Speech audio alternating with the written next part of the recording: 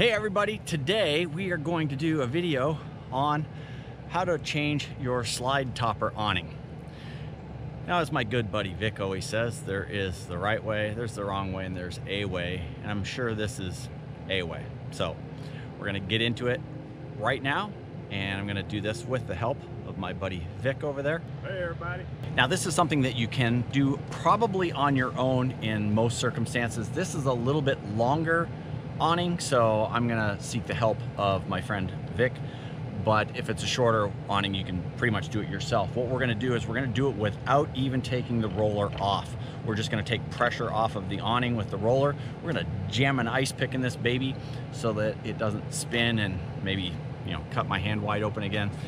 And we're just gonna yank this awning out and put the new one in. Hopefully this shouldn't take more than 10, 15 minutes, a few hours a day. Hopefully it doesn't take very long at all. Now there's really few tools that you need to do this. Uh, silicone lube to lube the, the track for the awning makes your life a little bit easier. I would say a, an ice pick or an awl or even uh, you can use a couple of, uh, of Allen keys. I like the ice pick idea or the awl because it goes all the way through the holes in the awning and allows you to stop that spring from turning back. So that's what we're going to do. What we're gonna do now is we're gonna roll this, we're gonna roll the awning until it gets loose. And then once this is loose, Vic is gonna put the ice pick in and then we're gonna be, we're gonna be done. So let's do that. This has got way too much. Somebody ordered the wrong one. It's got way too much material for the, when this is full on out. So, should be able to see a hole through it. There. And you can see there now that all the tension is off of the off of the awning. That's a good thing. Before removing your awning, you're going to have to make sure that the J-rail or drip rail or awning rail or whatever you want to call it, you got to make sure that that's free of any screws or debris. We had just installed a new drip spout on ours, so I needed to remove that before moving forward.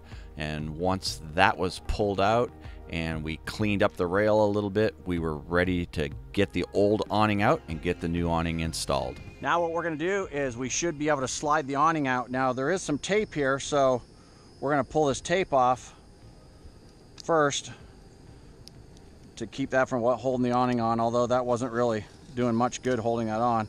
I think that should slide out unless there's something holding it on that end. And I'm gonna have to step down a little bit because it's gonna have to come all the way off the front.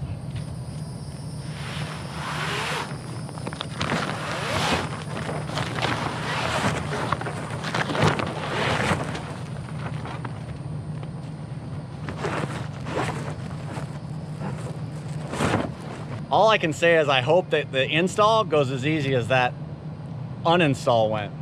That would be awesome. With your slide topper awning off, it is the perfect opportunity to replace the gasket around your slide. Ours was old and nasty and we had taken it off during the slide repair, so now is a perfect time to install a new one. After replacing the gaskets, we added some silicone lube to the awning slides and then we were off to the races and ready to get that new awning in and looking good. Now we're gonna start feeding the new awning in. You've got a thin edge and you have a thick edge. The thick edge is gonna go into the top of the RV, into that, that rail. The thinner one is gonna go into the, the roller down here. So we've got about four feet or so of the thick to put in first, and then we'll uh, start on the, the thinner one. Once you start feeding the awning in, just make sure you feed it into the rail as straight as possible. Take your time, no need to get in a rush here. Just keep feeding it in a little bit at a time, making sure that it doesn't rip or tear or get caught on anything, and you'll be good to go.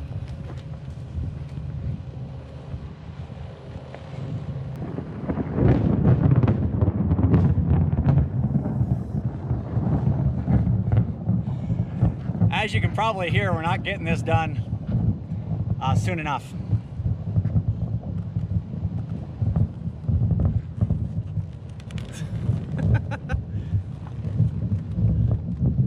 if you're going to try to install this by yourself, what you could do is put your slide in just a little bit so that you can reach across it. Ours is a little bit deep, so it would be impossible to reach across and be able to slide both sides by yourself.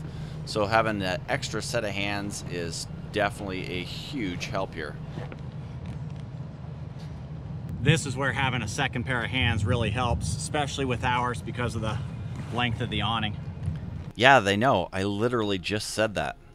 Continue working the awning into the rails bit at a time as you have your second set of hands pulling it down the rails and eventually it'll sit in there just perfect. You notice how I gave Vic the hard side. That's it. Now we're gonna take the spike out. We're gonna make sure that this all sets nice and then, uh, and then we'll be good to go. Measured it evenly? So I've got half inch on this side, Inch and a half? inch and a half. Yeah. Okay, go that way just a little bit.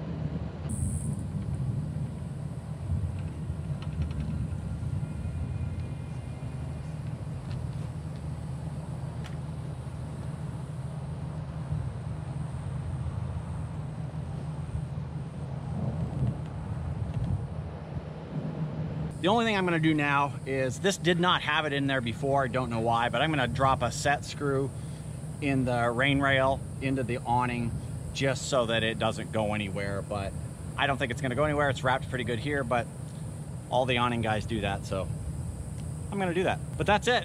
Slide topper awning. It's not that difficult. It was much easier having an extra set of hands. This is a long one, so the uh, getting it into the tracks and getting it down on the other side takes some time, just a little bit of back and forth, but really wasn't a difficult repair, and it's something that makes your RV look a whole lot better, and it's a lot more functional. Our other one was so old that you could start to see through it. It was cracked, and it didn't even feel like an awning. It felt like a weird piece of plastic.